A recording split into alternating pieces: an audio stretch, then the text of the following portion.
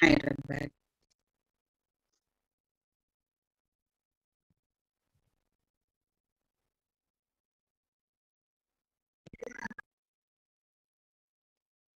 She served in a postgraduate college in uh, University.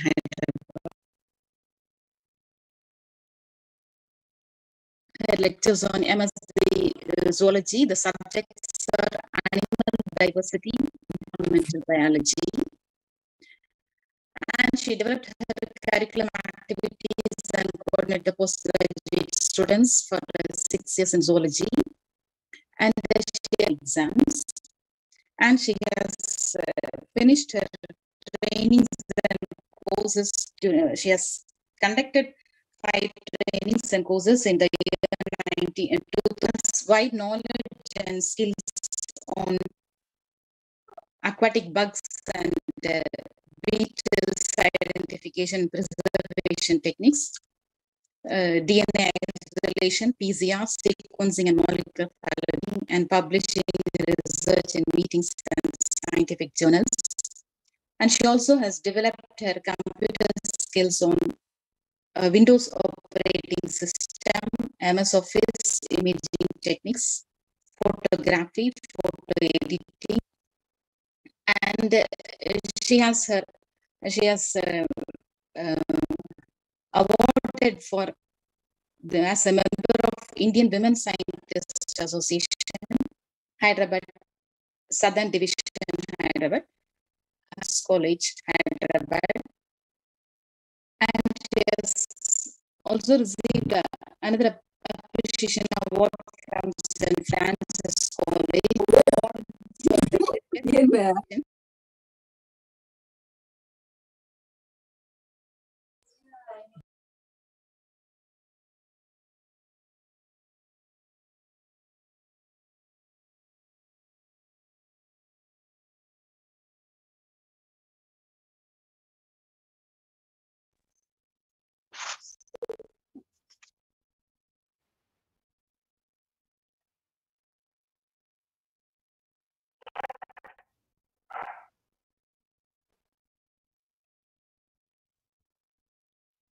Santa madam?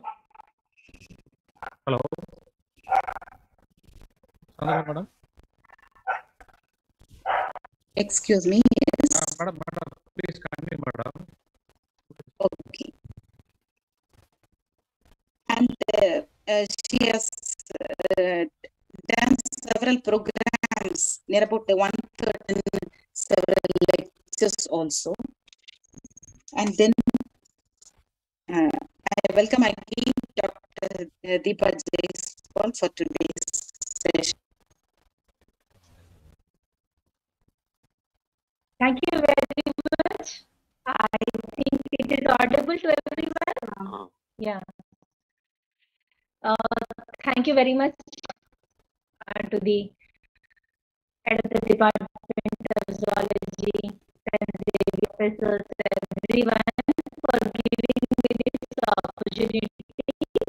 uh, to speak something about ours. I'm working for Freshwater Biology Regional Center. This is one of the uh, Center of Zoological Survey of India. So I'll just share one presentation here.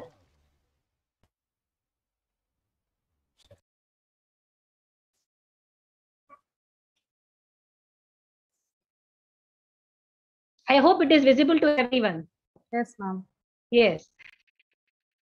Uh, so this is our office at Hyderabad. This is one of the it is located at Rajendra Hyderabad.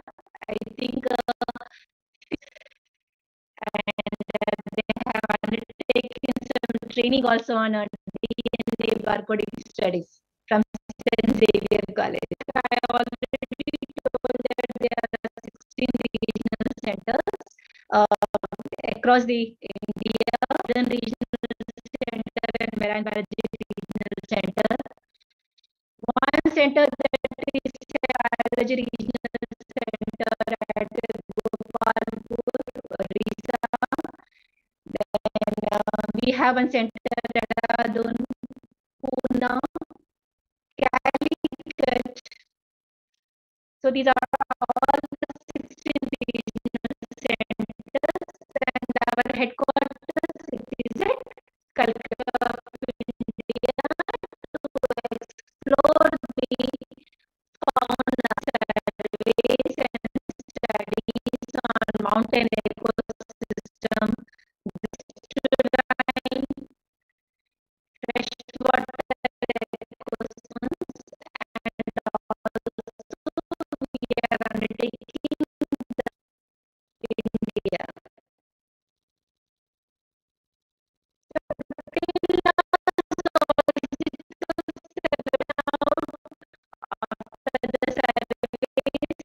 studies, we have taken retreats in 59 protected areas of country. Uh, this have public and we are having 52 state fauna series about 4,700 new taxa which have been added to the list of fauna have been collected and identified and registered and which are available uh, to have our own regional museums and collection uh, um, halls where we are preserving publications also. You can just see on our website of uh,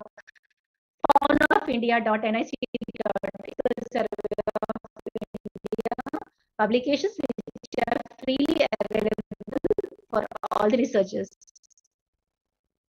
Coming to this 16th, uh, this is uh, the Premier Research Institute and we are working on the 1979 on 24th February in Telangana state in terms of our country. And uh, as you all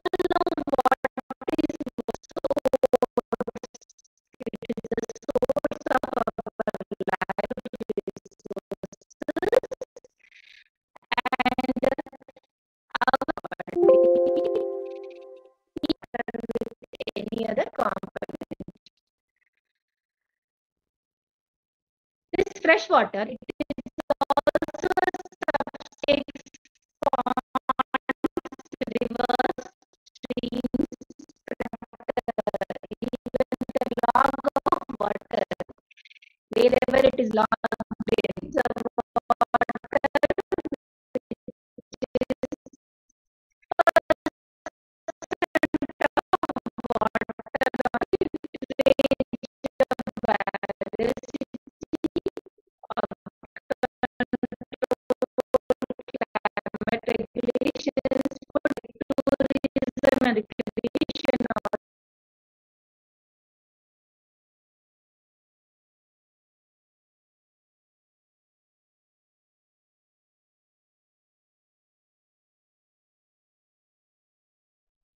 supporting that is the one of the world's population.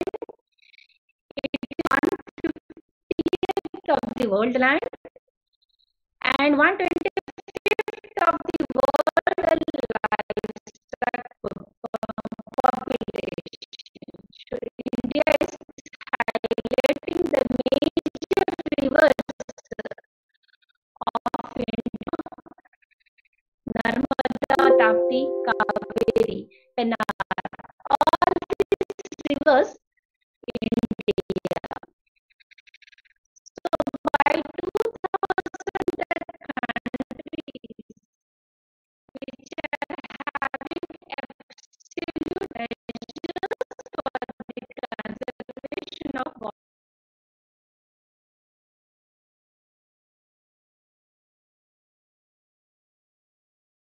So water resources of India. What are the water resources of India? We are having 42 Ramsar wetlands and our country, it is ninth in position in freshwater mega biodiversity.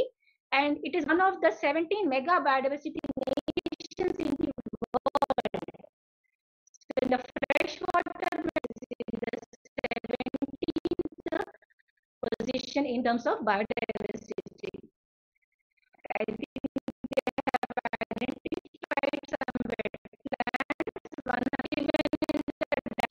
Of wetlands released by the Ministry of Environment and Forest, where you can see the 115 uh, important wetlands of India and 14 major rivers. So these are the water resources of India. And it is 2.4 percent of the global land mass, and it has 4 percent of world's freshwater resources, which includes 29,000 kilometers stretch of rivers and 3.15 million hectares of reservoirs, 2.35 million hectares of ponds, tanks, and 0.2 million hectares of floodplains and 42 So nearly 10.56 million hectares of inland water exist in India. Uh, and the main freshwater ecosystem, it includes 14 major rivers and their tributaries and some rivulets and streams and 44 medium reservoirs and lakes. Now I'm just telling about the 42 Ramsar sites which have been updated uh, till 2021. These are the important wetlands uh, which are taken up for the conservation uh, strategies. And it is decided by India that 75 years of independence, that is after the 75 years, 75th year of the independence of uh, India, they want to declare it as a 75 Ramsar sites. So they have uh, put up a proposal to the Ramsar Convention uh, to add some more list of wetlands into this. So presently we are having 42, but very soon, we can see the updated list of 75 Ramsar sites in India. Now, Indian freshwater ecosystem, they are very diverse, right from your geographic regions, that is France, Himalayas, to the southern peninsula. And it is directly or indirectly associated with numerous river drainage systems of India like Ganga, Brahmaputra, Godavari, Krishna, Kaveri, Narmada. These are all the important rivers which are contributing directly or indirectly to the numerous river drainage systems of India.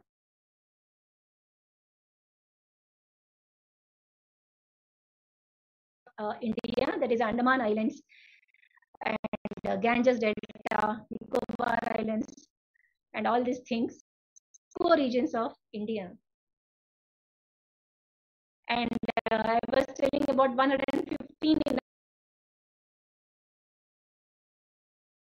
Pradesh, we are having Kolleru, Assam, Bihar, Gujarat, all these states, they are having the very important wetlands which are contributing to the faunal diversity, freshwater faunal diversity. So this is the list of 115 uh, uh, national wetlands conservation program in which they have listed these important rivers and lakes. Ramsar sites, there are total about 2,400 Ramsar sites in the world. They are covering about 2.5 million square kilometers. And India, we are having 42 Ramsar sites and hope that by 75th year of independence, it may be updated to 75. And this, I think you all might be knowing what are Ramsar sites. This was first, uh, a convention was formed in the year 1974, in which uh, they have planned to include the important wetlands. Uh, so that in that convention, uh, the first uh, Ramsar site which was identified in 1974, it was the Cobourg Peninsula in Australia.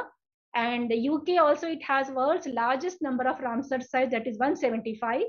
And February 2nd, that is celebrated as International Wetlands Day as the Ramsar Convention, which was signed in the year 1971 on 2nd February. Even our center, Freshwater Biology Regional Center also, every year we observe 2nd February as the International Wetland Day. And we organize some environmental awareness programs for all the research scholars, students who are pursuing their studies in the field of zoology.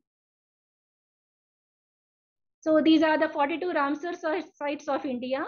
And uh, many of these uh, sites, they have taken up for the study, not only by Hyderabad Center, by other centers like Kerala, Jabalpur, and other centers from Dehradun and Himachal also. They have taken up this study on different uh, uh, sites of India, and many of them have been covered. And we have taken out also the document on this, like Nal Sarovar Lake, Kolleru Lake, it is still in publication. Kolle, I think Chandratal is completed. Bhoj Wetland. This book also we have published last year. Uh, we have uh, compiled the complete faunistic studies on this particular wetland and we have published this document. Sasthamkotta Lake also, which has been taken up and it has been also completed. So we are still in the process of taking up some more wetlands for the study. And uh, newly joined this Ramsar sites in India, like from Punjab, recently they have added these uh, um, wetlands and from Uttar Pradesh and Maharashtra. So I think in a year, not more than a year, they have updated from 37 to 42. I think within a year, they might have added five to six uh, Ramsar sites. So we can expect that we are going to reach the maximum number of the wetlands, Ramsar sites.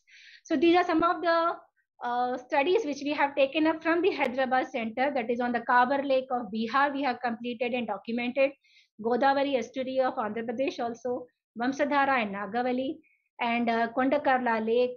Then uh, we have taken out some documents on Wyra Lake, Paler, Kambam of the lakes of Telangana, Krishnaraja Sagar of Karnataka, Gobind Sagar of Himachal Pradesh, and um, also apart from that some more uh, documents on the different uh, fauna also like aquatic insects of hyderabad and hemiptera and coleoptera also has been taken out. And uh, 2017 we have completed one current status of freshwater fauna diversity of india which was released during the national conference so I was just telling you that we are conducting the uh, surveys right from the top of Himalayas to the southern peninsula. So the center to date, it has carried out about 60 extensive field surveys and over 200 intensive field surveys to different parts of the country. So these are some of our uh, team members and the scientists and colleagues who participate in different surveys to different uh, uh, parts of India. And some books which we have taken out uh, from the center some some more publications which we have taken out. I don't want to much emphasize on that. Let us now first come to the freshwater fauna diversity in India. That is 9.7% of the total Indian fauna that are associated with the freshwater ecosystem of India. Now there are this particular number is very very important. Till now we have reported about 9,457 species were documented from the freshwater ecosystems of India that is contributing to 9.7% of the total Indian fauna. So if anyone is asking that, that how many species, freshwater species are there in India, that is 9,457 species are documented from the freshwater bodies. So these are the contribution by freshwater fauna, 9.7% of Indian fauna. Then freshwater fauna accounts for 10% of the total world fauna also. And in this, the majority of the group are the insects also, which contribute more than 50% of the uh, freshwater species. Apart from that, reptiles, mammals are comparatively less known from the freshwater system ecosystems of India. So in this freshwater fauna accounts for 10%. In this majority are the fishes, crustaceans, and insects. Uh, so group wise, you can see the number of species from protozoa to mammalia you can see the different uh, number of species in each group. So the maximum number you can see in the insecta that is 4,842 species in insecta, then 822 species in crustacea and 1,027 species in fishes. Likewise, you can see the majority which is covered in crustacea, fishes and insecta. And uh, you can see in the protozoa also 291, porifera 31, Cnidaria 9, Nematomorpha 20, like that we have different species covered. Even the endoproctons, you can see one of the species in the freshwater likewise. So total it is 9,457. So this is the same that the table form we have given that the total number of species in the world and in contribution of our freshwater bodies of India, how much we are contributing to the world fauna. So you can just one example I'll just give you here the total number of species in the world of protozoans it is 36400 and uh, contribution of freshwater it is uh, 2390 worldwide this is. And in the number of species in india it is total 3510 and freshwater uh, uh, protozoans they are 291 so in comparison to the world fauna the freshwater fauna are definitely less. And compared to the world fauna the contribution of uh, the studies on uh, protozoa to mammalia are far less. Maybe more intensive studies are required or more number of explorations has to be taken up to report the exact number of species. So this is just the list of uh, different classes and phylums which we have given. So this total you can see that it is 9,457. The total freshwater species in India, it is 97,708. This total species this is. Out of this 97,708, we are having 9,457 freshwater. Coming to the phylum wise, now let us go from protozoa to mammals. So group wise, we are going to take up this freshwater uh, faunal diversity. The kingdom Protista, it was estimated that about 2,390 species of protozoans in freshwater habitats out of 36,400 species known from the world. And in India, we are having 3,500 species in six phyla have been reported, of which 52% are free living and the rest parasitic species. So 1600 species of free living protozoans have been recorded from India, including the estuarine species also in this. And total of 106 species of ciliates belonging to 58 genera and 36 families are reported from freshwater ecosystems of India. The rhizophorans also are represented by 185 species and nearly 7% of the free living protozoans, as many as 90 species are also endemic to the country. Phylum Porifera, this here also it is represented by 219 freshwater species belonging to 45 genera in six families. In India, we are having 31 species of freshwater sponges belonging to 11 genera, out of which 37 oriental species and over 81% are known to occur in India. So you can see that poriferans, we have about 31 species of freshwater sponges in India. Then coming to Cnidaria or the coelenterates, they are remarkably successful in marine rehab, more than the freshwaters. You can see more, more in the marine ecosystem. But the global diversity in freshwater habitats is less than 40 species. In India, we have reported only nine species. So out of 40 species from the world, uh, India has contributed to nine species of uh, cnidarians. Phylum uh, platyhelminths, uh, class turbellarians, they include the free living forms and uh, found in all the aquatic habitats. They are also found in marine and freshwater. Globally, you can see 6,500 species of turbellarians are known. And um, I think 1,303 species are reported from freshwaters, of which 36 are distributed in the oriental region. And uh, current status of cestode fauna of India, parasitic on freshwater fishes accounts for five orders, 11 families, 25 genera and 116 species. So total of 46 species of freshwater uh, platyhelminths you can see in the uh, freshwater fishes of freshwater fishes which are found to be infected by this 116 cestode parasites. So you can see more than the free living, they are the parasites. They are the parasites in the fishes. Then phylum Porifera uh, plays a vital role in many freshwater and are ubiquitous, occurring in almost all type of freshwater habitats. So globally, 2,030 species are recorded from freshwaters and 419 species belonging to 16 genera are recorded from India. So you can see one example of Brachionus rubens here. Uh, this particular family is worked out by one of our scientists, Dr. Karuthapandi. I will just tell you, tell him, tell to you about him the later in the last. But uh, he is a very dedicated scientist who's working on Rotifera, Ostracodes, and Cladocera. Uh, he is an alumni of your St. Xavier College. So more details I will give you in the end. Then coming to the phylum Nematomorpha, an interesting group of nematode-like animals commonly called as horse hair worms, whose free-living adults they are also found in the freshwaters with only five marine forms. So we are having only the five marine forms here and 356 freshwater species are known from the world with only 20 species reported from India. So in Nematomorpha, you can see only 20 species from India. Gastrotricha, they are also one of the among the most abundant but poorly known group of freshwater invertebrates. They are nearly omnipresent in the benthos and globally 324 species are known from freshwater habitats. In India, uh, 24 species are reported from this particular group of Gastrotricha. Then phylum Nematoda, these are the roundworms. Uh, this free-living generally found possibly in all types of habitats. Global diversity it is 27,000 species of freshwater 12 species. So you can see the lot of difference. uh, 27,000 nominal species of nematodes and we can only contribute to only 412 species. This you can just uh, uh, conclude here that the number of uh, research studies have to be taken up more. There are many more nematodes to be explored, I feel. So that is why the number it is very less compared to the global diversity. And uh, phylum Acanthocephala, which are the thorny-headed worms, which are also found in the freshwater body. The global diversity of this uh, Acanthocephalans, it is 1,199 species.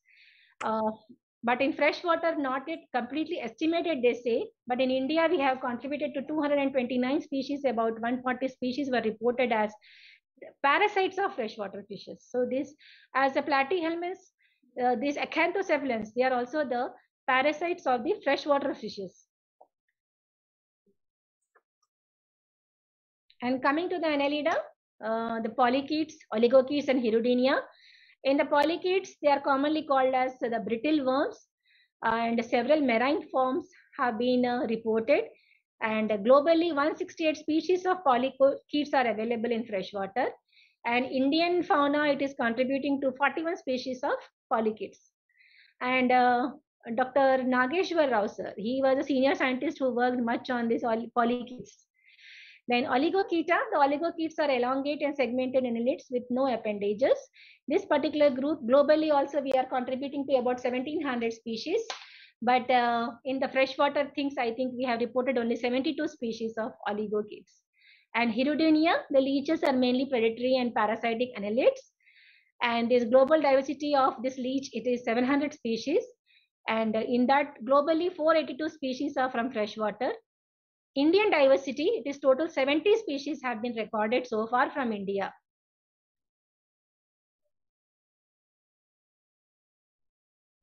Then phylum Arthropoda. Uh, in this subphylum Crustacea, I told this is the maximum contribution from this group, crustaceans. They contribute for the crabs, lobsters, crayfish, shrimps, copepods, ostracods, and all this. A major contribution is from the crustaceans and global estimate it is 11,990 species of fresh uh, global estimate of freshwater fauna crustacean fauna and about 822 species have been reported from indian freshwater habitat spiders that is a class arachnida the class arachnida it includes spiders and mites inhabiting most terrestrial habitats there are 26 species under 12 genera uh, which are belonging to the family of spiders reported from the world. So you are having only 26 species from the world fauna and six species under six genera are reported from India. So over 6,000 species placed under 57 families. Class Insecta, this is also the major group which is I think 50% of this is contributing to the uh, fauna, uh, the freshwater fauna and global diversity is, is uh, 10 lakh 70,781 species.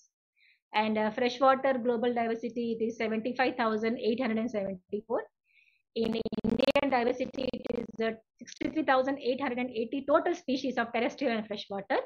And only in freshwater, we find 4,842 species spread across different uh, orders, Diptera, Trichoptera, Coleoptera, Hemiptera, Ephemeroptera, Plecoptera, Megaloptera, all these are the different orders of insects.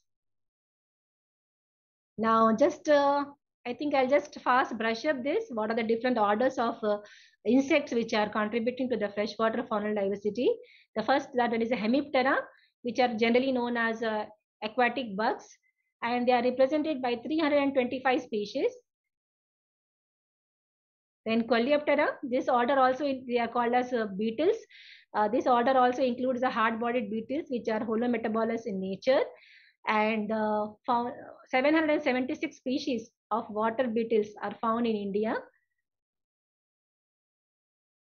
So these are different uh, aquatic beetles which we have collected from different uh, ponds and lakes, different ecosystems, wetland ecosystems, and uh, our one of our JRF, uh, he is uh, very much seriously working on this uh, aquatic beetles, and he's coming out with the new species and new records. Then coming to the order Odonates, the order Odonata, it is one of the ancient groups of the insects. which is contributing globally to 6,233 species in 685 genera, and out of which 482 species with about 50 subspecies in 150 genera and 18 families they exist in India. So we are contributing to 4,882 species out of 6,233 species. Trichopterans, which are also called as caddis flies, these are extensively utilized in biomonitoring studies. So by many biomonitoring studies have been taken up, like uh, you you might be knowing about the EPT index and all, Ephemeroptera, then uh, Trichoptera and Plecoptera. So these studies, uh, these three groups, they are taken up for the biomonitoring studies to know the uh, quality of the water, whether it is oligochaetus or it is a poly or the meso, like that. Over the world, 14,548 species belonging to 616 genera have been recognized and 28 families comprising of 102 genera and 1,227 species are recorded from India. And one of our scientists uh, in headquarters, he is working on this uh, Trichoptera, the caddis flies. Then order Plecoptera. Plecoptera is a very small monophyletic order of uh, insects. And the contribution of this to the world fauna it is 3625 and indian diversity is only 128 species. Order ephemeroptera. This particular group it is also known as mayflies. And global diversity it is uh, 3000 species and uh, 390 species reported from the oriental region and indian diversity it is only 146 species and this particular group, it is very much uh, worked out by Professor Sri Sivaramakrishnan sir, who is a master in this group of Ephemeroptera, that is, and uh, one of our senior scientists, uh, Dr. Subramanian from Chennai, he is also working on this particular group of Ephemeroptera. Then we are having the order Lepidoptera. This forms a fascinating group of insects and uh, it is contributing to about 740 species under three subfamilies. And in India, we have reported about 80 species. And I think mostly larval forms can be found in the freshwater bodies. Coming to the Diptera, the Diptera also they are nothing but the two-winged insects. Uh, these are usually terrestrial in habitat, uh, but you can also see the larvae and pupae in the aquatic and they are dependent on the water for the life cycle to be completed. So in the world, 40 families of Diptera are known to be aquatic. In India, 36 family, in which 150 genera and 1,588 species are reported to be aquatic and semi-aquatic in nature. Hymenoptera. Hymenoptera also, I think most of them are parasitic mode of life on other group of insects. So globally, you can see 150 species have been reported and uh, they are also from near water bodies. They are known from India. Aquatic and semi-aquatic. They are generally parasitic forms. Then uh, Megaloptera and Neuroptera. These insect orders, they are closely related to the superorder Neuropteridae. And the global diversity of this uh, orders, it is 328 species. In India, it is 26 species have been reported. In the freshwater systems, it is only the four species are placed under this genera in the single family. You can see one of the example of Megaloptera here and Neuroptera. Now the insects we have completed coming to the phylum Mollusca. So mollusks already you know that they are they play a very important role in the trophic structure of the freshwater ecosystem. The contribution of this molluscans to the global diversity it is 5000 species. In India 217 species have been reported and 15 species of gastropods and 18 species of bivalves have the discontinuous distribution and 77 freshwater mollusks are endemic to the Western Ghats biodiversity hotspots. So you can see one of the picture of Physella acuta here. Phylum Bryozoa. This is also known as polyzoa or ectoprocta or the moss animals. And they are divided into two distinctive classes, uh, Phylactolemmata and Gymnolemmata, of which the former is strictly restricted to freshwater. So you can see that only Phylactolemmata is strictly restricted to the freshwater bodies. And the global diversity, it is 5,000 marine species, 94 species under 24 genera are known from the freshwaters. In Indian's uh, diversity, Indian faunal diversity of the phylum Bryozoans, it is 22 species. Likewise, now coming to the vertebrates, class of Pisces, that is the fishes. So Indian freshwater fish diversity is very rich with as many as 1027 species, which are comprising of uh, freshwater fishes. And uh, freshwater fishes also include 858 species belonging to 167 genera. These are the primary freshwater fishes and 137 species of secondary freshwater fishes, which frequently enter and thrive in the freshwater uh, of river and alien fishes that have become naturalized in the Indian freshwater bodies, they account for 32 species. So more than 60% of the primary freshwater fishes of India are endemic to the country and with maximum endemism of species found in Western Ghats. And this is contributing to the major percentage of the faunal diversity. Class amphibians. Class amphibians, they include three living orders, Anura, that is a frogs, toads, uh, that is 6,706 species, and Caudata, which includes salamanders and newts, which are contributing to 693 species, and Gymnophiona, that are nothing but the caecilians or the limbless amphibians, which account to 205 species worldwide. Of these, of all these, 386 species are known from the India, and they share about 5% of the total species from the world. So about 275 species out of 386, they dwell in the freshwater bodies. Class Reptilia. Reptiles, they are the terrestrial poikilothermic animals, as you all know that. And the global diversity of these reptiles, it is 250 species of turtles of total 320 recognized in the world. And uh, none of the lizards are strictly aquatic. Then more than 570 species of reptiles have been reported from India. And uh, the family Gavialidae, that is 21 species of testudians and two species of monitor lizards, one species of skink and 21 species of snakes, which are primarily or partially, they occur in the freshwater habitats of India. Birds, class Aves, which have been colonized all continents and all habitats of the earth. They approximately 10,000 species have been described, of which nearly 5% they are the freshwater habitat. A total of 243 species of birds, they are dependent on the wetlands and 67 forest birds are also frequently visiting the freshwater bodies. So total of 243 species of birds are aquatic. Then class Mammalia. In this, we are having only six species. They are found in Indian freshwater habitats. Total diversity, it is uh, 5,500 species. In freshwater, 124 species globally. But India has contributed only six species of mammals in the Indian freshwater habitat. With some of the slides I'll just run. These are the critically endangered animals. Like you had white-bellied heron here, which is endemic uh, and endangered which is critically endangered to the eastern Himalayas and Bangladesh. And uh, Calidris pygmaea, it is spoon-billed sandpiper. Then this is Bengal florican. Then Siberian crane and pink-headed duck. Then Jerdon's courser. This is uh, also getting uh, uh, endangered from the eastern ghats of India, Andhra Pradesh. This is also an endemic bird of Andhra Pradesh. And then we have sociable lapwing also, which is also critically endangered. Then uh, white-headed duck, then spotted green shank, then terrapin, northern river terrapin, then red-crowned roof turtle, three-striped roof turtle, keeled turtle, fish-eating crocodiles.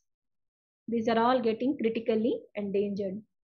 Some of the Ganges sharks, from the Ganga River and Brahmaputra. Then uh, Platanista gangetica, which is nothing but the dolphin.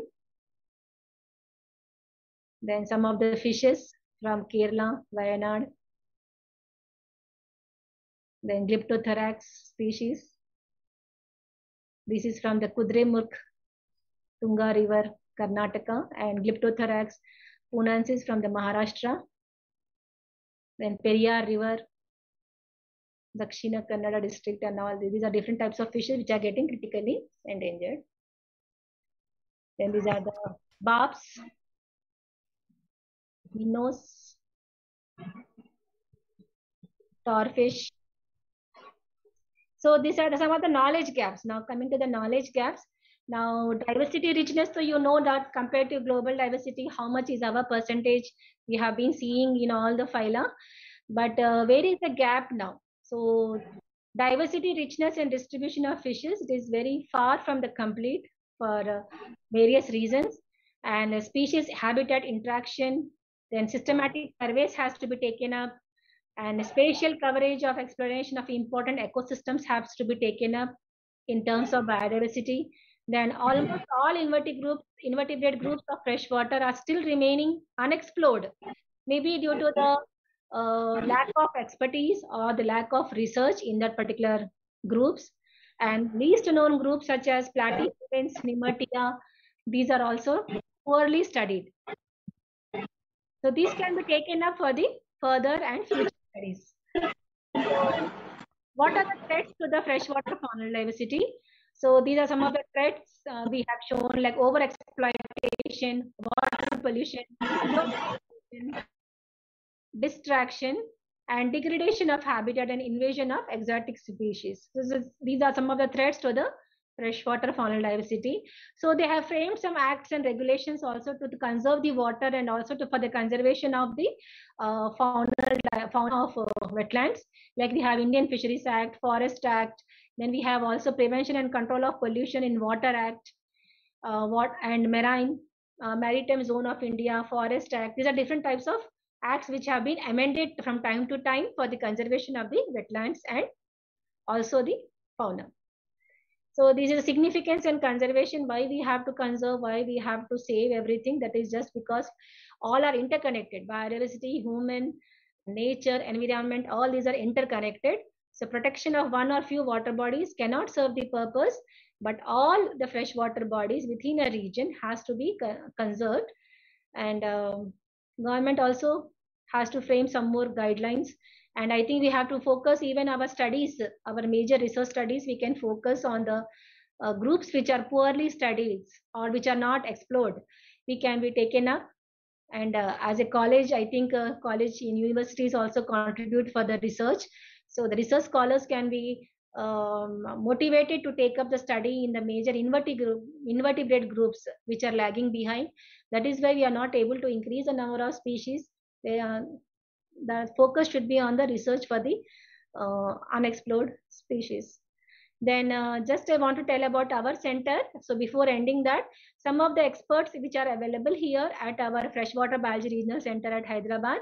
Uh, myself, we are uh, doing on aquatic insects, that Coleoptera and Hemiptera. Uh, we have identified many number of uh, species and reported record new records also. And um, one more we are having scientist here dr boni. He is working on the fishes in molecular biology. He's taking up studies on the dna barcoding also. And we have submitted about more than 500 barcodes to ncbi and further work is also going on. Then we have one more scientist here dr ss jadhav who is also well expertised in the fishes. He's a very dedicated scientist and he has reported more than 20 new species of fishes and 17 years of research experience is having and published more many number of publications also. And uh, recently he, many many of his new species have been published in Zootaxa still it is in some more papers are in pipeline. Then uh, he is dr m. Karuthapandi who is expertise in uh, zooplankton studies. Uh, he is having about 10 years of research experience and his main focus is on ostracods, Cladocera, Copepoda, and Rotifera. Dr. Pandi joined as a JRF, SRF, PDF, and now he is a senior scientist here at uh, Hyderabad. And I'm very happy to say that he is a product or is an alumni or the student of St. Xavier's College, who has given such excellent scientist to Zoological Survey of India. His uh, contributions are commendable, and I'm really very thankful to the college management people, everyone uh, for their studies, the knowledge what they have imparted to them. It is really very much beneficial because as they go out from your institute, they have to become something. and they have to become a role model to the other people so in this case i can just uh, i can comment that he is a he is a very uh, sincere and hardworking scientist so thanks to st xavier college then uh, one more uh, we are having srimati rehnuma sultana who is expertise in mollusca here she is working on the non-marine mollusks especially focusing on the freshwater mollusks and she is having seven years of experience. And these are some of the holdings which are present in the center. You people are all invited to visit our center and you can see our collections and what is the progress of the work taken up at hyderabad. Not only hyderabad you can also visit all our other centers also which are near to your place like tamil nadu you are having two centers. Calicut you are having you can go to pune or hyderabad whichever is you can feel. You can have an uh, visit of the gallery and the museum which are present in different centers so these are some of the collections which are, we have preserved and stored and uh, displayed for the visiting scholars. And uh, we have digitized also some of them. So we are having 4,800 specimens which have been digitized also. So, and this is our DNA taxonomy, what we are doing. We also have the DNA lab in which our research scholars are doing the barcoding work also. And total we have contributed to 502 barcodes have been submitted to NCBI. We are also having the library facilities where we are having about 6,500 books uh, focusing on the freshwater studies. And some of our research scholars are also doing their PhD here. Our, our uh, office is also affiliated to Osmania University for the PhD. And we are having some students who are working uh, under our super, supervision, which is leading to the PhD for them. And we also arrange some skill development programs. We also arrange some workshops and uh, training programs in which uh, we will let you know about our programs. And uh, i hope that you people also can come and participate in the programs. Some activities also we keep on doing every throughout the year. We have some of the other activities for the uh, public awareness also. We keep on arranging this.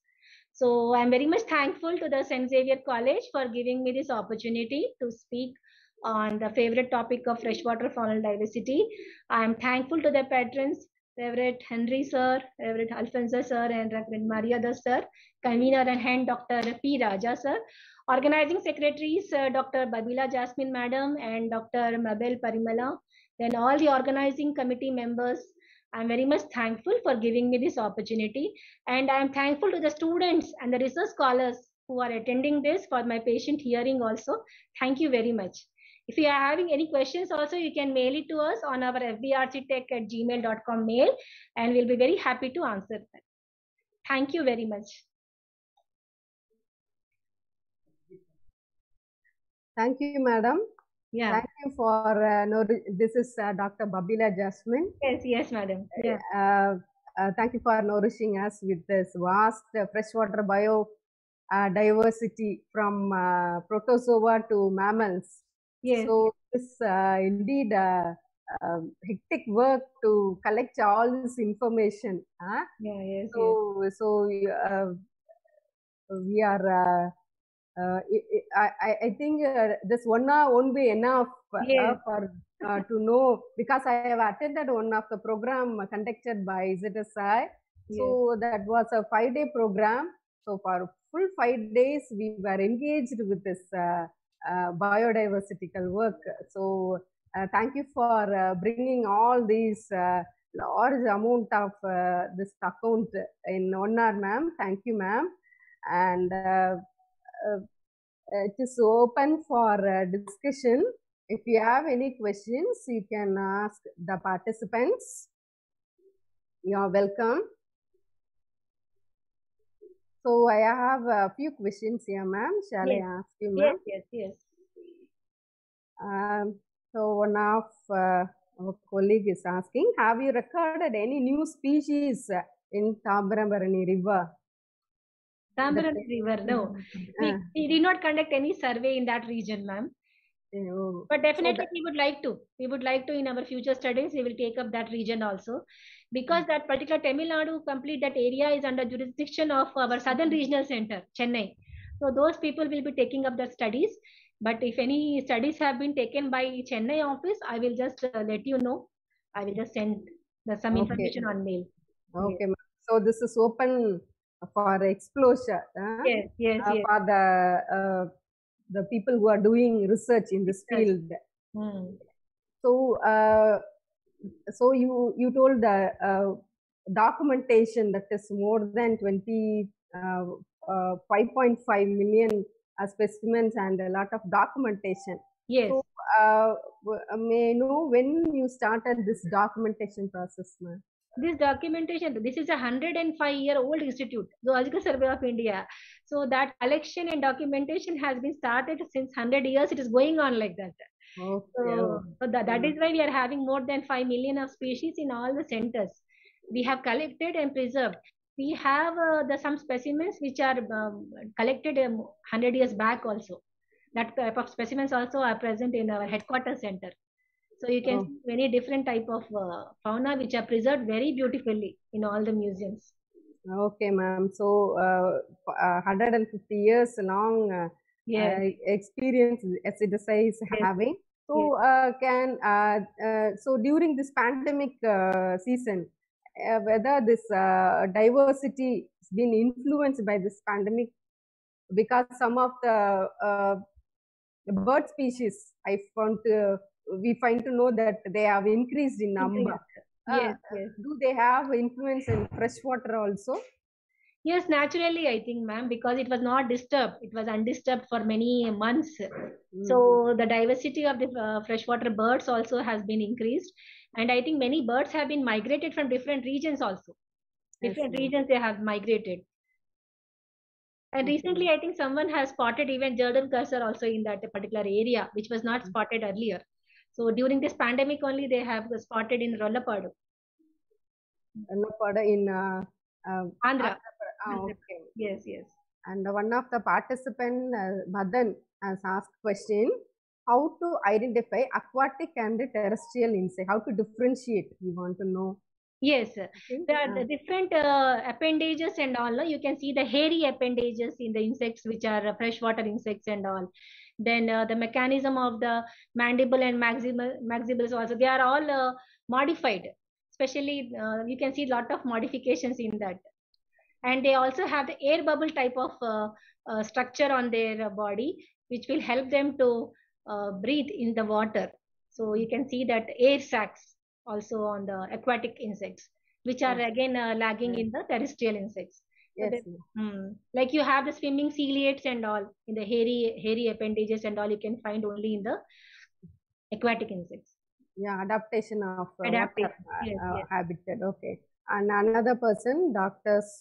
Sudhir Kumar, has asked a question. What about river dolphins? Hmm. I think he is asking about any account on uh, uh, Yes, I dolphins. think they are reported. They are reported, and uh, much of our uh, this I think uh, this year they have decided as the dolphin year or something like that for the conservation of dolphins.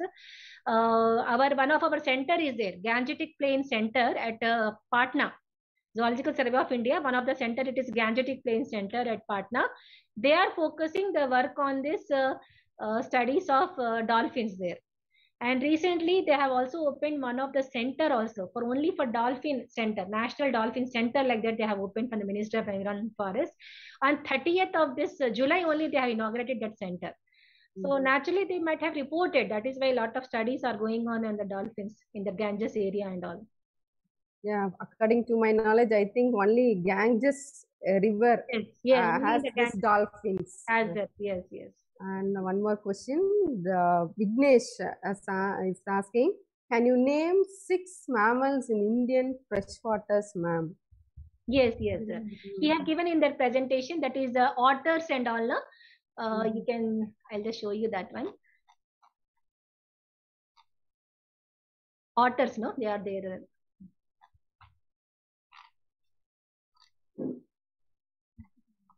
No. அவங்க இதுல Yes, காமிச்சேன் I'll I'll just show do that. you the share பண்றேன்னு சொல்றாங்க Yes, that is, uh, we are having South Asian river dolphin is one mammal. Then we are having the clawed otter, European otter, and coated otter, and one Himalayan water shrew and elegant water shrew. So these are the six mammals which are reported freshwater and habitats. Okay, thank you, ma'am. Then uh, Andrew uh, has asked another question. Ma'am, is invasive species of fauna a threat to ecosystem like alien fishes that you mentioned? Yes, yes. They are definitely a threat to the endemic species or the native species. The invasive species are nothing but I think they're the exotic ones also, uh, which are invading our waters and all. And uh, they are not giving the space to our endemic species and all, or the native species. So definitely there is a threat to the native species. And then another question from Shiva Anita. What are the criteria for uh, designating a wetland as Ramsar site? Yes, that is depending on the area. First of all, it is the area, how much area it is spread and all, and what is the faunal density of that particular wetland. So they decide on that. And whether that is uh, important to the humans also, how it is related to the humans, how many people, population density in that particular area, that all are the criteria fixed to, make any wetland as a Ramsar site, Ramsar wetland. So these all proposals will be sent to the one convention that is a Ramsar convention, and they will decide whether the wetland to be a Ramsar site or only the nationally important wetland like that. There are different criteria in which they fix up these things. Mainly the area that is and the faunal density of the particular area. Then another question from Vignesh. Ma'am, could you suggest us some research centers and museums in India where we could know much about faunal diversity? Yes, that is, I think, only Zoological Survey of India is far enough for you. All 16 regional centers you can visit. And if you even go to the headquarters, you can see the gallery of all the animals in different sections. You have different sections only, like mammal section, bird section, Coleoptera section, Hemiptera section. Like that, you have different sections. If you are going to headquarters, you can see thousands of animals and thousands of insects, whatever you group you want to work they will guide you. You can write to them for any identification or you can write to them for any uh, help you want from them. And uh, there are many scientists. You one more thing is you just regularly go on checking our website also. There are many opportunities which are coming for the junior research fellowships uh, postdoctoral fellowships. You can enter zsi then you can learn about this uh, faunal diversity how we collect how we study what is taxonomy. Then uh, you can also go for your molecular taxonomy if you are interested so I think ZSI itself is a huge institute which can guide you for the final studies. Yes, uh, students, you can contact madam Yes. uh, for further uh, details. And one one last question, ma'am. Yes, ma'am. Ma'am, why the second largest lagoon, Pulicat Lake, is uh, not designated as Yes. Ramsar site? Yes, yes. Now it is uh, proposed, madam. Now this is, has been proposed for the next year. So I hope by next year this Pulicat Lake will be getting up this uh, status of the Ramsar site.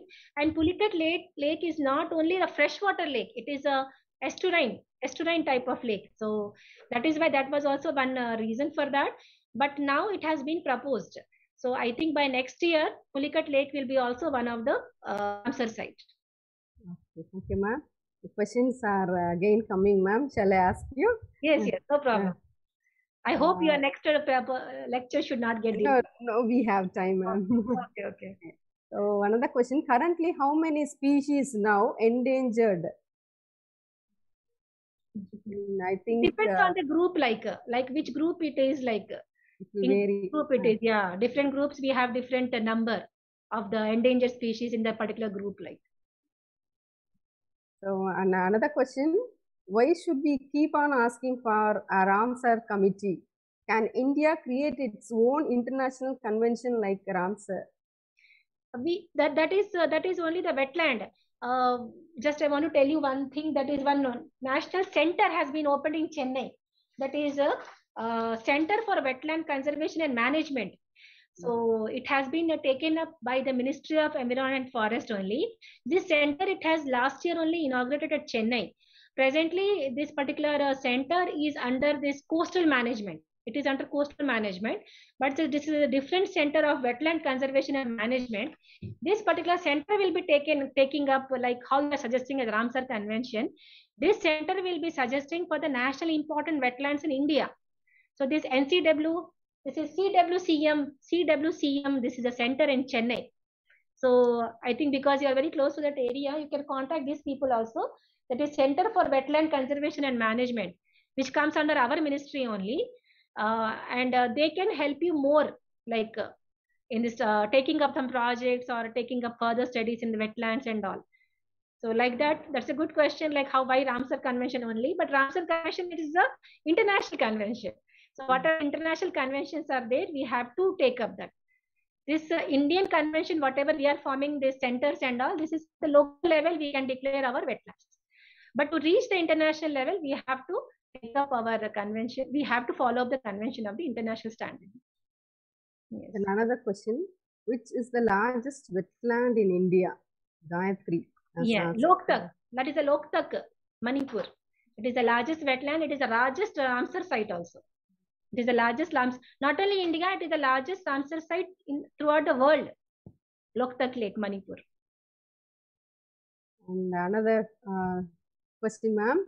Does uh, the diversity of freshwater fishes, thousand plus, includes freshwater ornamental fishes?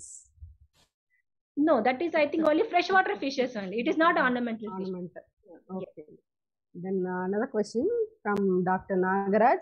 Any new exotic freshwater fishes introduced recently in India, ma'am? What what, madam? Uh, any new exotic freshwater fishes introduced recently in India? I think it might have introduced. I have to ask one fish expert on that. Uh, I will let you know. I will ask our Dr. Jadhav if any exotic fish has been introduced this year like that. Thank you, ma'am, for your uh, patient uh, answering question. And I again I thank you for introducing the experts available in ZSI. And really, we are proud to have uh, Karuthapandi, uh, uh, our Pandi, sensitive- I just want to introduce our Dr. Pandey also. Please come here, Dr. Pandey. Uh, he was very excited to uh, be a part of this program. Like I Hello, just, madam. I just Good told him. Yeah, Good afternoon, madam. Uh, uh, good, good afternoon and uh, good evening, Karuthapandi. Thank you uh, for uh, making St. Xavier's proud. Thank you. Thank you. Yeah, as Madam said, uh, um, you have all the qualities to work in uh, ZSI and expert in uh, zooplankton. Thank And you can also, uh, students can also approach Karuthapandi if you have any doubts uh, regarding zooplankton. Thank you, ma'am. Thank Yeah, you, yeah. Thank you. Thank you so much. Uh, thank you, ma'am. Thank you for uh, sharing uh, valuable time with us, ma'am. Really, we are uh, enlightened with a lot of uh, biodiversity regarding freshwater. Thank Yes. you. One more, ma'am. I was just seeing this largest wetland, uh, some Sundarban wetland. That is the largest wetland. But Hmm. largest Ramsar site, it is the Loktak. Oh. Largest Ramsar site is Loktak. Largest wetland, that is the Sundarban wetlands. Hmm. Yes, yes. Thank you. Thank you, ma'am. Thank you. Now, uh, I'll give uh, hand over this uh, to Dr. Mabel Parimala.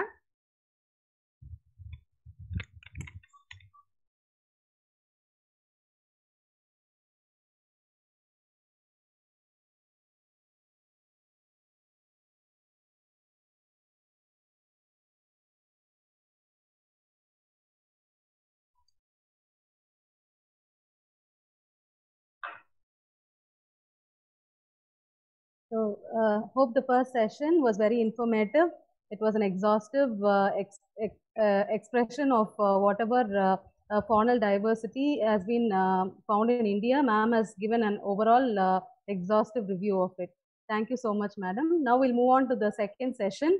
The second session will be on marine environment, diversity, threat, and opportunities by Dr. Chinnarajan Ravindran. Uh, now I request uh, Dr. Uh, T. Elizabeth, the Assistant Professor in the Department of Zoology here in St. Xavier's College, to introduce the resource person and to take over the discussion.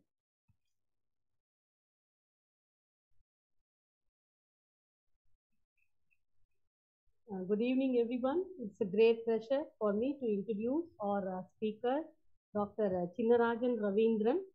He served with uh, distinction as the Associate Professor in Biological Oceanography Division, CSIR, and National Institute of Oceanography, Goa and India. And he did his PhD on 2003 at University of Madras, Chennai. He received many awards and honors like DBT CREST Award in 2012 and INSA Visiting Fellowship Award in 2011, DBT PDF Award in 2004. He has trained as 20 postgraduate students and three ongoing PhD students. Now, handling two CSR ongoing projects. He published 16 papers among, uh, among six selected papers presented in conferences. His uh, research interest in understanding the microbial infection entry, mechanism of action, down signaling pathways, and uh, host defense and host pathogen interaction. I'm sure we will be enriched by this seminar. I welcome you all and thank you for taking the time off to join us in this webinar. We, the St. Xavier's College, wishing you very all the best for all future endeavors. Thank you, sir.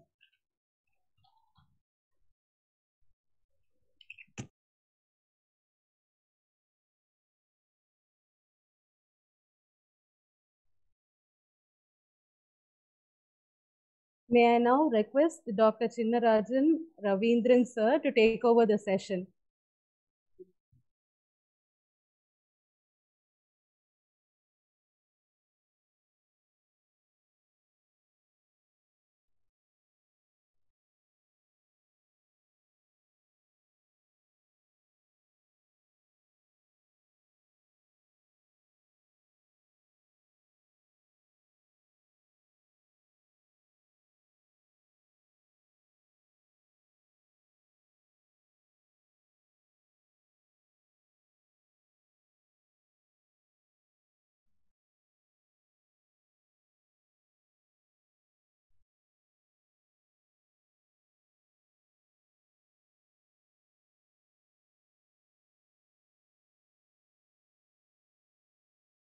Uh, hello.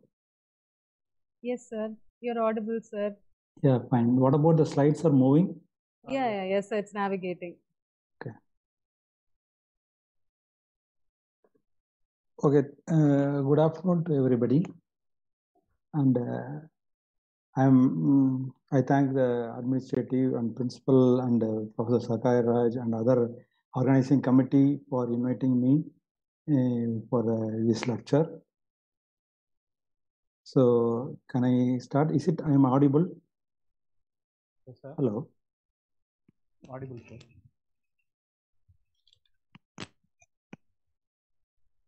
Yeah, the, uh, today uh, I will be talking on the marine environments and the diversity, threats and opportunities. So here we, I will be covering various topics on uh, various ecosystem on marine environment and the unique uh, features of marine environment as well as some diversity, not like earlier speech of uh, species, uh, uh, whatever they are doing is uh, difficulty. That is a different kind of stuff where I I am not going to present the entire species level or phylum level, class level things, but whatever the some level kind of major uh, uh, some basic uh, diversity I can able to tell something here, and also what are the opportunities and challenges. Apart from this, what our institute, National Institute of Oceanography, is uh, involved in these various programs of oceanography.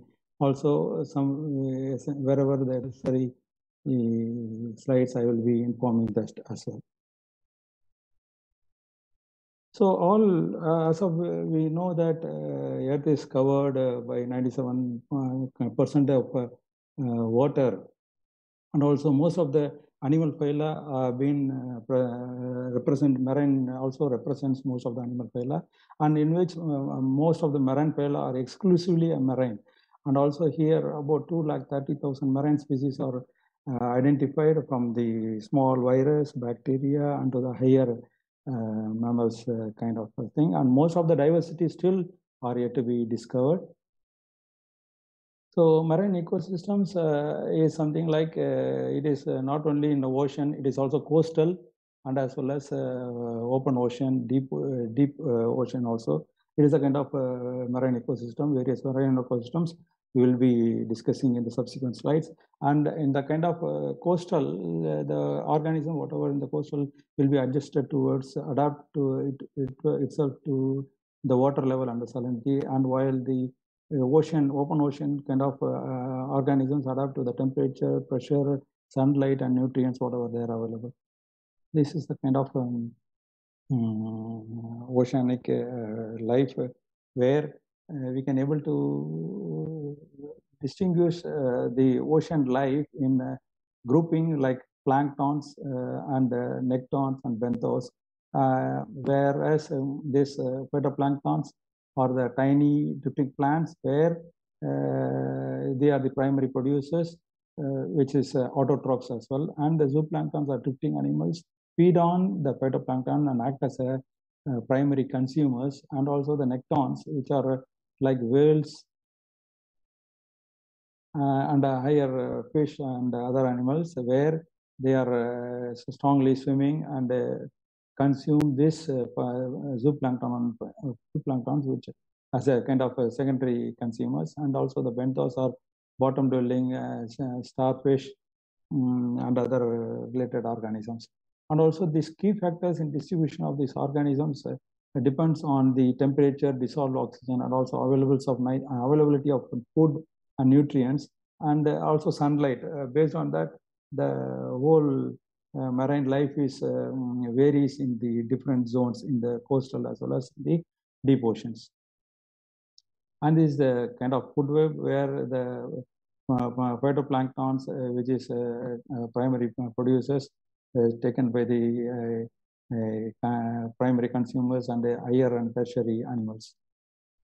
And uh, coming to the saltwater life zones, that is marine life zones, uh, there is uh, uh, various uh, zones are there. That is oceans, kind of open ocean and as well as deep uh, oceans, and the coastlands where there comes under estuaries, salt marshes and mangrove forests, coral reefs are there, and estuaries and wetlands are found with a mix of seawater and fresh water, where the high nutrients will be uh, flushed into the uh, area where both the ocean and um, river uh, pools were pulled up, and high, so that high nutrient levels and high sunlight, so the productivity will be more there.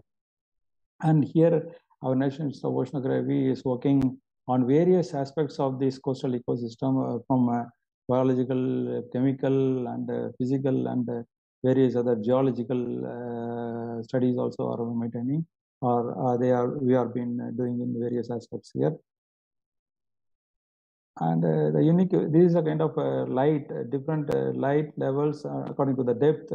We can able to see with the sunlight zone a twilight, midnight, and abyssal zone. It varies. And the open ocean is also unique features like salt, light, temperature, pressure, microscopic plants, invertebrate animals are commonly present, and also low concentration of nutrient, etc. And uh, in deep sea, essentially, the light will not be there, and uh, it will be four degrees centigrade, and salinity will be constant, and uh, oxygen will be generally adequate, and nutrients are high in the deep sea, and also greatly elevated pressure is there. And also, while going below the kind of uh, the uh, the, the deep uh, zone, the biomass also reduces continuously. And this is the kind of euphotic, uh, this is the inter uh, kind of continental shelf region where the coastal zone and also these are the open ocean and the deep ocean where the abyssal zone will be having uh, plenty of nutrients and it will be upwelling uh, when a kind of favorable season and uh, the primary producers will be taking in and uh, taking the things uh, for its uh, active for its uh, food uh, with the help of the sunlight and thus uh, the ocean life uh, uh, uh, makes the kind of uh, uh, circle in uh, mm, primary producers to the tertiary producers, consumers. And these are the some of the, the various uh, organisms uh, present in the kind of uh, mm, benthic zone and as well as uh, in the deep ocean, that is abyssal zones. And coming to the kind of uh, seawater uh, constituents, uh, seawater is consists of sodium and uh, various ions like sodium, chloride, sulfate, magnesium, bicarbonate, and calcium, and uh, something like potassium. Along with these nutrients, these phytoplanktons, uh, with uh, other uh, nutrients like nitrogen and phosphorus, uh, will be of using the sunlight um, uh, for the uh, food, and uh, they prepare their food where this uh, uh, makes the kind of uh, um, essential factor in the the ocean, open open ocean conditions. And as I said, it's an upwelling kind of stuff is there. That is a kind of when a wind is towards the ocean, that waves waves uh, the has been pulled and the depletion regions were there. But from that, the below water surface will be pulled up, and uh, whatever the nutrients in the rich nutrients in the deep ocean will be pulled up for the uh, euphotic zone where the um, uh, photo, that uh, phytoplanktons can use this for its uh, food productions. Thus, the upwelled water also consists of uh, nitrate, phosphates, and dissolved gases that are not utilized at the depth because of lack of sunlight. But on the surface, these nutrients and gases help to fuel photosynthesis by small algae called phytoplankton. These phytoplankton are uh, kind of uh, various uh, groups are there. Eight major groups are there, and also single-celled, uh, which are the very much, which in many many shapes and forms. Collectively, they form the basic base of oceanic food webs. So this uh, upwelling uh, in the ocean uh, is also identified in various uh, various resources, various resources like satellites and as well as sea surface temperature and ocean color. Something the following slide I can show that. In this uh, deep water uh, kind of conditions, the abyssal zone wherever the nutrients is upwelled, uh, the water conditions are will be of uh, very 4 degrees and as it is uh, cold it will be while coming up the whatever the upper water surface will be of reduced uh, temperature levels. Thus we can identify the kind of upwelled uh, condition in the ocean. And also the pigment whatever present in the phytoplankton will be clear that is a chlorophyll pigment where we can able to match where are the upwelling regions are there so that these upwelling regions are rich in nutrients. As uh, rich in nutrients, the, the phytoplanktons will be there, and the phytoplanktons are there as a primary mm, producers. The consumers like fish will be there, and the more the uh, uh, upwelling region, more the fish catch will be there. Thus, uh, the this upwelling will be an essential process in the fish resources. Thus, upwelling leads to more phytoplankton, more phytoplankton leads to more fish, more fish leads to commercial fishing jobs and more seafood. Thus, without upwelling, many of the world's fisheries would not thrive. And this is a kind of theoretical cross section of a ocean where uh, co coastal to deep ocean we can able to see. In this uh, deep ocean, we can see the vents, sea mounts, and um, abyssal, that is a very deep ocean, and vents and all where the temperature will be, though it is under deep ocean, it will be of uh, on uh, 110 degrees centigrade uh, kind of uh, thing, mm, where our NIO group is working on various aspects of ridge, sea mounts, abyssal plain, because we have two ships there in our institute, and we used to take cruises till Indian Ocean, Central Indian Ocean as well, and we used to collect the samples from various regions and various analysis like biological oceanography will do for biological samples and uh, physical oceanography and geological oceanography on the various aspects of the uh, studies we able, we are will be we are performing on that. And coastal wetlands. Coastal wetlands are areas where the salt waters will be uh, their part or most of the time and that is the, the coastal wetlands and most of the habitat and nesting areas for many fish and wildlife. It provides and also it ex, uh, absorbs excess rain and the flood whatever uh, uh, is uh, mm, uh, create, uh, is will be avoided so that it will be the more more the water it will be absorbed and and also it filter out the pollutants and as well as it is useful for recreational and boating and fishing activities and this is just an explanation of um, plants and uh, how it is evolved. In the Silurian period, the phytoplankton, whatever there in the ocean, will slowly move into the upper stages like red algae, brown algae, green algae, and to the land plants. And uh, in the kind of a Cretaceous period, these land plants move to the mangroves and uh, move to the ocean again, and it is as mangroves and seagrasses. And a kind of estuary. Estuary is the land where uh, the seawater uh, river meets the seawater and uh, it is a kind of mixture of seawater and um, river water. Thus, a lot of nutrient supply and a lot of sunlight will be there. Thus, here the uh, uh, primary production will be more, and it is a it is of uh, uh, uh, it is of uh, rich in um, uh, biodiversity as well. So plants and animals, plenty of light, as I said, uh, said it is nutrients will be available, and there here oysters and clams live anchored to the rocks and feed by filtering plankton from the water. And these organisms here tolerate variance because it is a low tide, high tide will be there. Thus, uh, the organism, whatever there in the mm, mangrove mangrove uh, regions, will tolerate the high and less salt, and as well as fresh water as well. And uh, here it is a, these estuaries are protected uh, where a lot of harbors has been can be constructed. Uh, that's uh, New York uh, is uh, best known for a largest uh, mm, that is a harbor has been built on this uh, estu- estuaries. And salt marshes uh, is something like uh, so. I'm audible, right? Hello, Yes, sir, you're audible, sir. and the slides are moving, right? Yes, sir, yes, sir. Okay. Uh, and the salt marshes is uh, other uh, uh, kind of maritime habitats where the grasses, sedges, and other plants have been adapted, where uh, the kind of um, primary producers and the secondary consumers were uh, involved here. And uh, uh, after this, uh, the birds, uh, whatever their dyes uh, will be decomposed by the bacteria as a, which acts as a decomposers here. So it also absorbs the pollutants mm, and uh, protects the lands, uh, land as well from the flood uh, kind of uh, uh, conditions. And coming to the mangrove swamps or tropical, subtropical marine swamps that are characterized by the abundance of low to tall mangrove trees. And this protects the coastline from erosion and also reduce the damage from storms as well. And coming to rocky shores, uh, rocky shores uh, is a, shore region where the uh, rocks provide anchorage for seaweed and animals, where these kind of um, sea urchins, sculpin, and this kind of species have been present in this kind of shores.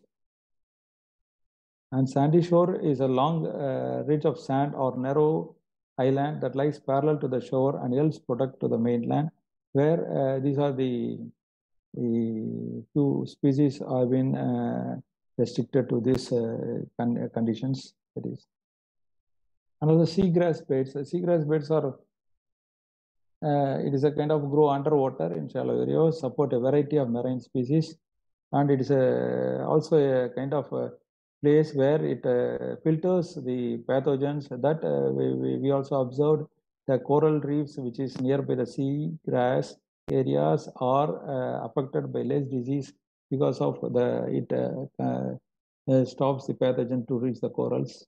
And it also the seagrasses reduces the wave impact that is from the storms it protects the land. Coming to coral reefs uh, coral reefs um, uh, is a very hot spot in uh, biodiversity. It has a, a moderate atmosphere it is present in a shallow water and the corals are associated with an algae called as a dinoflagellate that is zooxanthellae and it is a, a symbiotic um, association. Uh, because uh, as it is a symbiotic association the, algae which is present in the coral will provide the 75% of the nutrients to uh, corals. And thus uh, these corals uh, the active corals will have a kind of a rich biodiversity like sponges and uh, shrimps and a brittle star, blue fairy mussel, green sea turtle, sea nettle, like that. And uh, this is also a very mm, effective ecosystem which um, uh, uh, protects the land from huge waves like tsunami and also uh, other uh, tourism and recreational activities. This is a kind of an example of a coral because uh, when climatic condition, that is when a temperature rise is there in a sea, in a ocean conditions, so even a one degree centigrade rise is there, the um, algae which is associated with it of the uh, coral will be removed. That is, it will be expelled from the organisms, and thus uh, the coral will be bleached. That is, it will be of in these conditions yeah, until unless the coral, the, the algae is not associated with the it, it is not coming again. That is uh, back to this coral cells. The coral will not able to uh, grow or live more, and it goes to mortality stages. Thus, we can see a healthy coral and a bleached coral where the biodiversity, how the biodiversity has been mm, increased here in the healthy corals and the diseased corals. Thus, it becomes very important that if the coral reefs are how uh, helpful for the fish catch in the marine systems. And this is the kind of map showing the this is a uh, coral reefs on various uh, mm, areas in the world and in India, in Lakshadweep, Andaman and Nicobar Islands here, and in the kind of Gulf of Mannar and Palk Bay, and some in Gujarat, we have a coral reefs. And while uh, doing a study on coral reefs, uh, we use the whole uh, kind of a, bon- a study has been done on marketing and uh, isolating the organism with various molecular markers, and we found that there are these many organisms that is animalia, belongs to animalia, fungi, protozoa, plant, chromista, uh, has been um, identified, and also as an eukaryota. And on the prokaryotes like uh, bacteria, archaea, also uh, n number of species has been uh, uh, uh, identified from these areas. And this is the kind of a map showing the various kingdom, phylum, class, and order and family genus of 300, more than 300 genus at various markers, whatever we are using and identifying these things. And our own work, uh, we I am uh, we are doing is something like we I, we are working on corals in Palk Bay and Gulf of Mannar uh, region, where um, on coral diseases because uh, uh, coral diseases is something like these are the various coral diseases where we identified in Mannar and region. Though various diseases are identified uh, in India, but what is the causative agents which causes uh, diseases uh, has not been yet identified. So we are having various projects here to identify the uh, causative agents, whether it is a bacteria or any other protozoans or any other fungi or what is the cause of mm, infection and what what it leads to mortality where we are uh, working on uh, various uh, corals in the Gulf of Mannar and Palk Bay region. And this is the kind of, uh, while doing our study, we used to take the physical and chemical and uh, the biological parameters where for physical uh, temperature or salinity or uh, dissolved oxygen, which uh, influences the bacterial pathogens or uh, other microbial pathogens, which influence the mm, corals at uh, like in higher temperature, the bacteria like Vibrios gets a virulence and it got it will get it will infect the pathogen corals and it causes the disease. Thus, we used to take physical and mm, chemical parameters around the oceans. And also, we used to check the mm, coral uh, tissues and mucus and uh, uh, surrounding organisms, like uh, using the uh, whole genome sequencing, that is uh, V3, V4 regions, and we found that uh, for uh, identifying causative agents in healthy and diseased mucus and uh, algal dominated uh, uh, corals which secretes mucus. Thus, we used to see uh, the variations in the bacterial communities uh, among the healthy and disease, and we will uh, narrow down to a level where uh, where which uh, microbes are causing or influencing uh, the disease or making the infection and the uh, subsequent pathogenesis process. These are in a kind of a, mm, on the way uh, the in the program uh, we- are still analyzing various data on this, and also while co- coming to in a uh, field we found a, a coral called Porites lutea, which is uh, after the fifth day it is um, getting uh, diseases.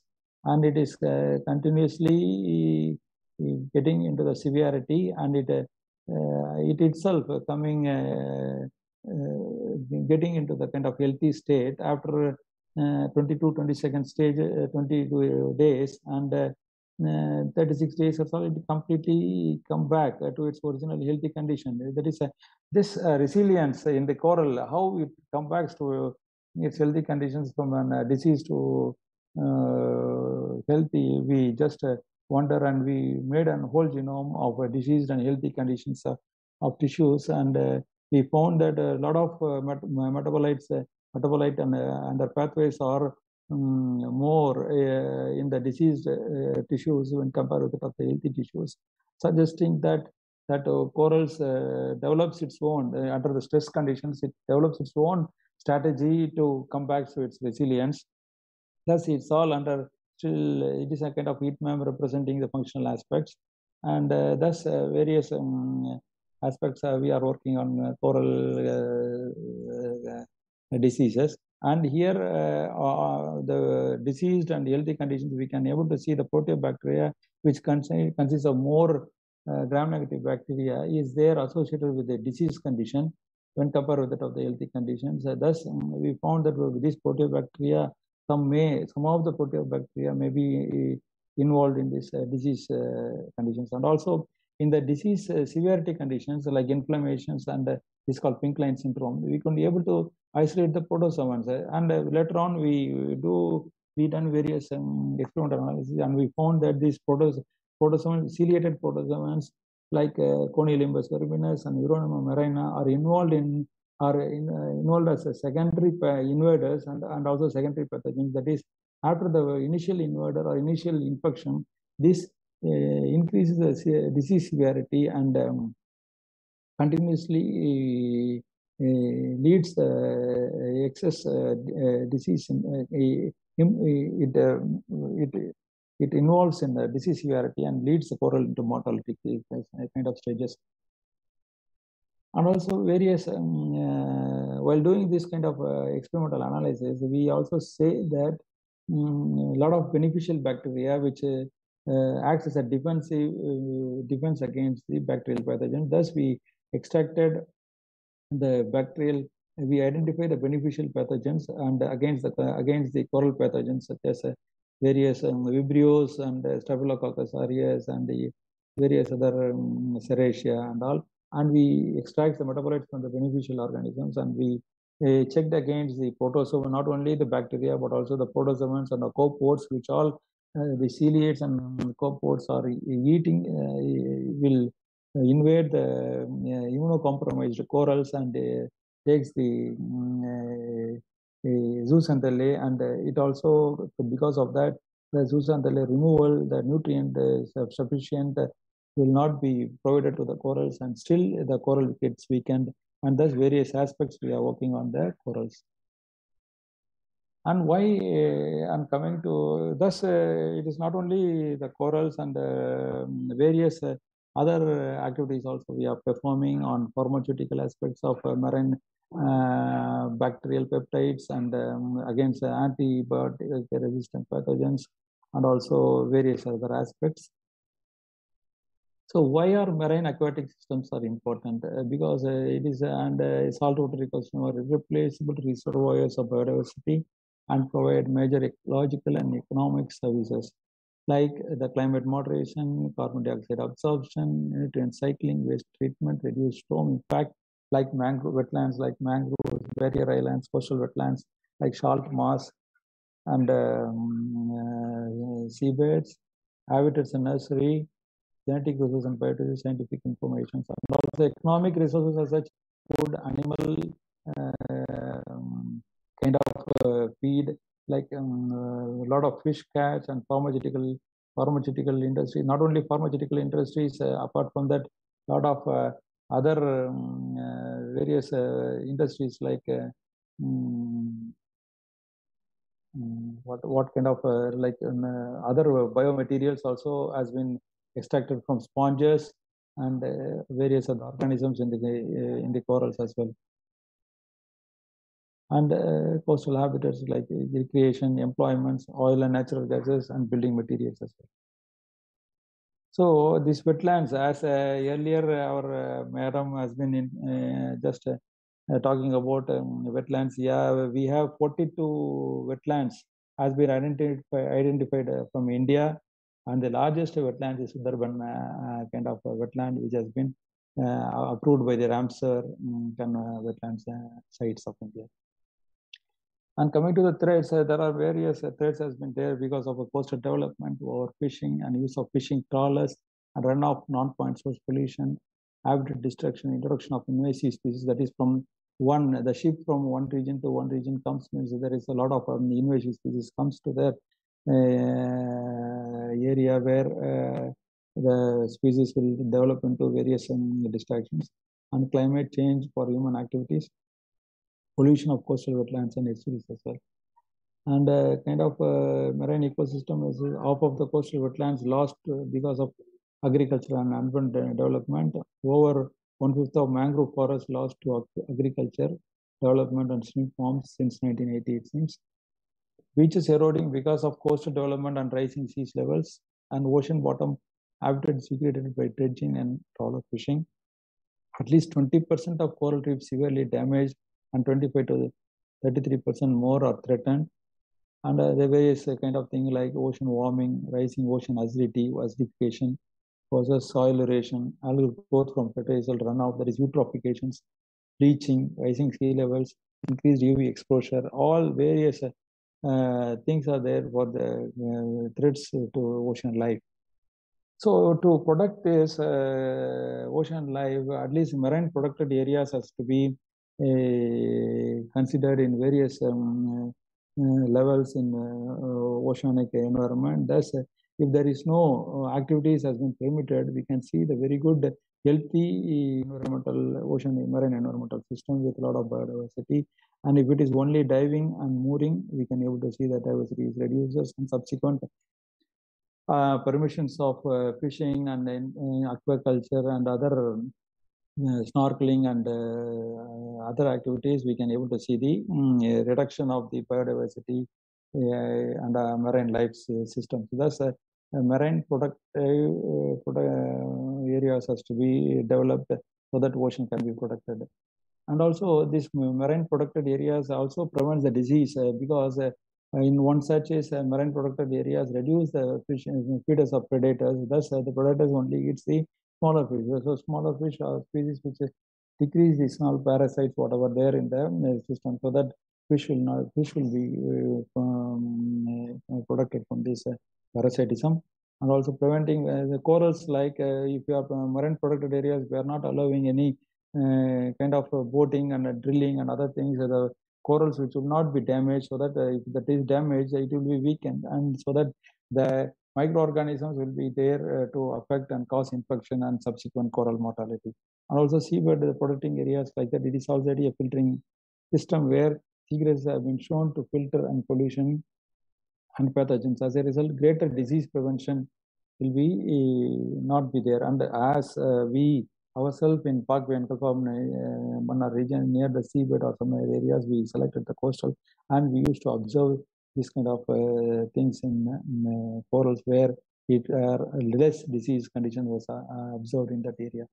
So conclusions, thus we saw that various um, um, coastal marine ecosystems and their kind of life forms, how they vary and what is the, and how these coastal ecosystems are helpful for the human nature and um, uh, and also our lab own uh, coral uh, Uh, kind of uh, disease uh, studies we are able to see. And kind of conclusion, this marine product, productive areas network is critical to maintaining climate change resilience and rebuilding ecological and social resilience.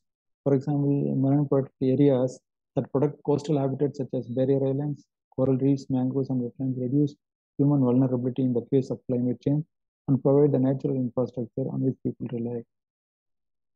Marine protected areas, while not impervious to all climate change impacts, provide areas of reduced stress, improving the ability of marine organisms to adapt to climate change.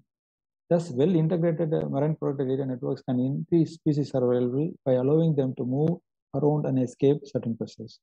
In addition, marine protected areas where stresses are controlled can be used as sentinel sites to help track the effects of climate change. Yeah, thank you.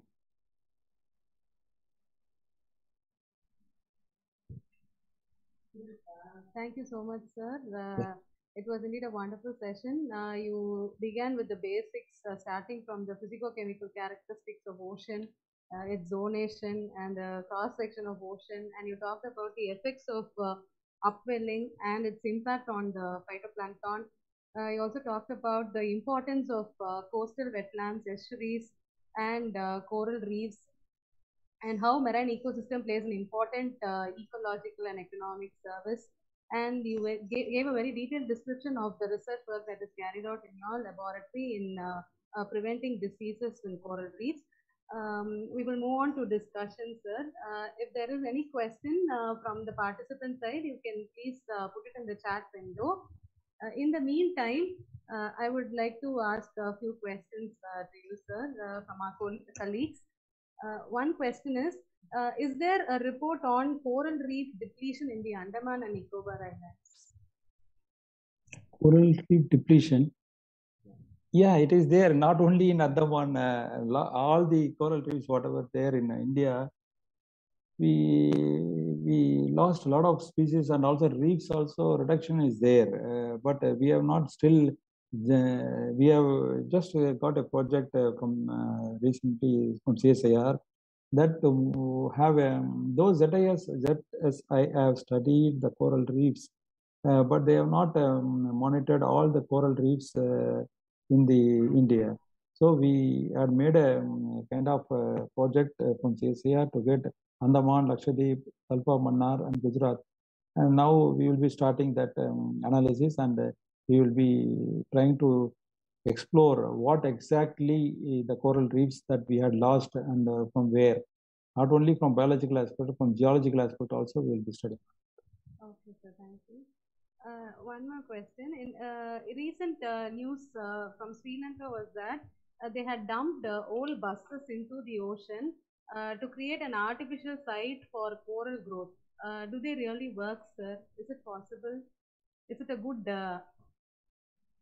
Yeah, yeah, it is po- possible in the sense uh, uh, mm, there is a certain procedures are there, mm, and recently from Gulf of Mannar, uh, in the Gujarat coast, uh, some corals has been transported, like acro, uh, a coral called Acropora species, which is a little uh, sturdy coral which can uh, adapt to the climatic and adapt to the climate conditions to wherever it has been placed. Thus, they successfully done that in the um, uh, Gujarat coast from uh, the corals has been brought from the Gulf of Mannar, but it is possible. okay, sir. Thank you. Uh, a few more questions. Uh, do earthquakes lead to a shift in the homogeneous habitat in the marine environment?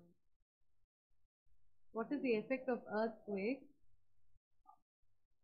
in altering the homogeneous habitat in a marine environment?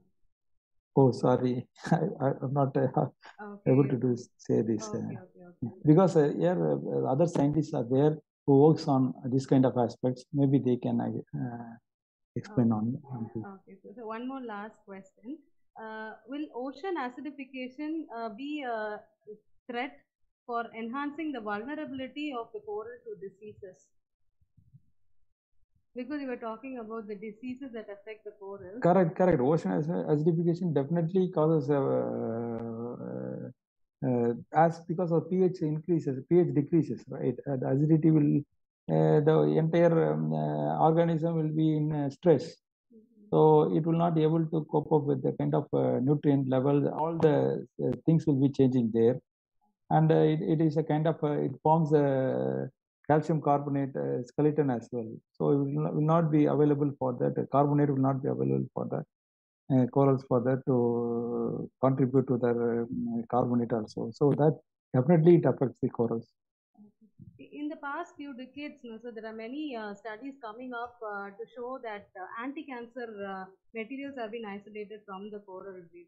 What do you think would be the important, uh, the most important component that contributes to the anti-cancer potential of this particular uh, coral, sir? Is there a common uh, uh, chemical component or it is diverse? No, no, no. See, now, now, see, anti-cancer is something like that. Now, cancer is a thing which is largely worked up, and uh, it is not the one cancer. It is like a lot of cancer is there: breast cancer, colorectal cancer, a lot of cancer is there.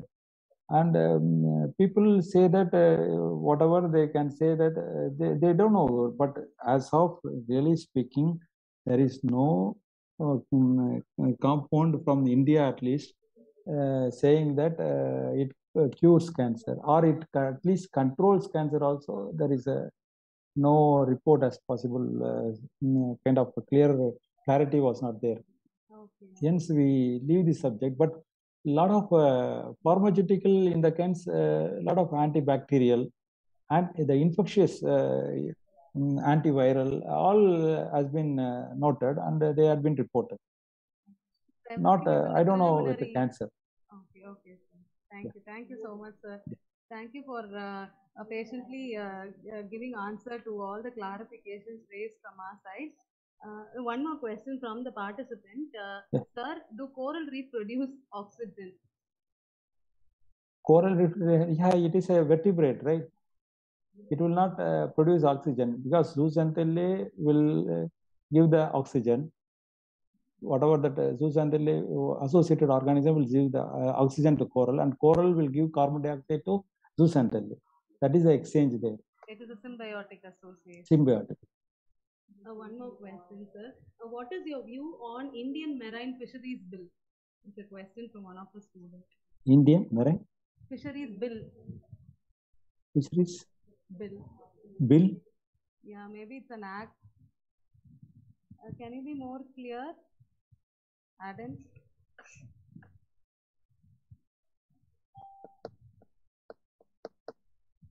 Okay. Yeah, that was the question, sir. Would you- your view on Indian marine fisheries bill? fisheries Uh, latest, uh, the government which is uh, uh, no i'm not regarding the fishermen issues, I guess. i i am not clear i am not aware about that Okay, okay, okay, sir. Okay. So thank you once again, sir. Thank you for spending your valuable time with us, and uh, thank you that you immediately consented uh, to be with us uh, when we approached you. Uh, thank you for all your valuable input. Thank you so much, sir. Thank yeah you. thank you very much Now I am uh, delighted to request Dr. uh, Babila Jasmine, the organizing secretary of this webinar, to deliver the uh, vote of thanks. I thank God Almighty for His blessings and guidance throughout the whole process of this webinar. And uh, I thank the management, for the rector, for the secretary of St. Xavier's College for giving us this opportunity to conduct this program. And I extend my thanks to Reverend Father Principal Dr. Mariadoss for his continuous support, even though he is not able to join us today. I thank him uh, for his uh, support. And I extend my thanks to Dr. Raja, the convener, HOD, for his continuous support and encouragement throughout the, this program. And I am happy to acknowledge the resource persons of today's program. Uh, thank you, Dr. Deepa, the office in charge, Scientist E, ZSI, Hyderabad, for enlightening us on the faunal diversity of uh, fresh water. And I thank uh, Dr. Ravindran, Principal Scientist and Assistant Professor, Biological Oceanography Division, uh, Goa, and uh, Scientist uh, for enlightening us and sharing his knowledge on this uh, uh, deep sea diversity. So this is quite a, a vast area. He has given us. Thank you for giving a short. Uh, uh, uh, uh, sharing his uh, uh, knowledge in a short, nutshot. Thank you, sir. And uh, I thank uh, Dr. Sahairaj for introducing us, uh, the chief guest, Dr. Ravindran, to this uh, webinar team. Thank you, sir. I thank, uh, I am, uh, I thank Dr. Elizabeth and Dr. Santakumari uh, for uh, nice introducing the chief guest to us. I thank Dr. Mabel Parimala for her continuous effort, support, and coordinating and compiling this whole program uh, to uh, today also. And uh, I thank the organizing committees, my colleagues, for uh, uh, their full cooperation and support they rendered throughout this program. I thank Dr. Ludusami, IQAC coordinator, and Dr. Alagaraja for their technical support uh, they rendered uh, today. And uh, uh, I thank, also extend my thank to doc, uh, to Shankar and Milton for their uh, technical support. And uh, it is uh, my pleasure to thank all the participants because without you, this program may not be a successful one. Thank you for your active participation, uh, participation, and I thank all the professors, research scholars, and my dear students, friends for your active participating today. So, uh, for making this uh, program a successful one. Thank you, one and all. Now, over to Dr. Mabel.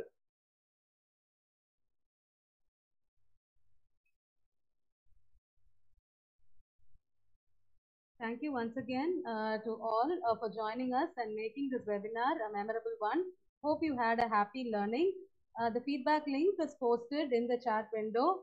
Uh, you can uh, fill the details. Uh, please fill the details very carefully because we'll be using this for generating your certificates and the certificates will be sent to you by tomorrow. Thank you so much.